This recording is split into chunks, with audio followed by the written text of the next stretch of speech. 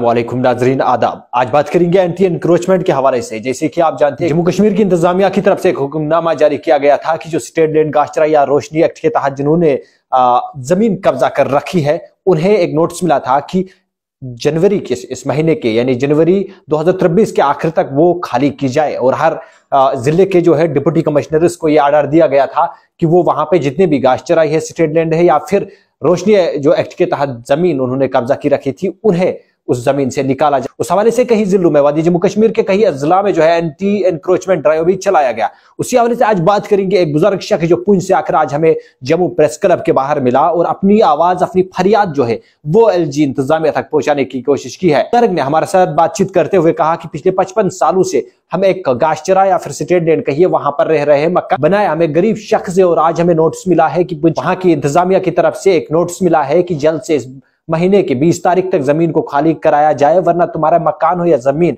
उसे वहाँ से एंटी इंक्रोचमेंट ड्राइव के ज़रिए हटाया जाएगा। उस बुज़ुर्ग का कहना था कि अगर एक गरीब की, एक गरीब के मकान को आज अगर एंटी इंक्रोचमेंट ड्राइव के ज़रिए, एक गरीब के मकान को अगर गिराया जाता है तो आखिर गरीब जाएगा कहाँ?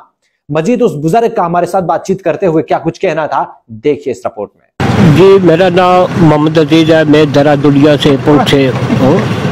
तो मैं ये ऑल इंडिया वाइस मोदी आदमी बीजेपी का हो तो मैं ये गुजारिश करता हूँ कि मैं राष्ट्रपति को भी दिल्ली में मिलकर आया हूँ और ये जो गरीब अवाम है इनका मकान जो गिरा रहे हैं तो एक गल के, एक तो गरीब ने मजदूरी करके तो अपने मकान को खड़ा किया और फिर अगर ये गवर्नमेंट अगर उसको गिरा रही है है जी तो वो उसमें कितना नुकसान हो रहा है उसमें गरीब का दिल क्या बोलेगा?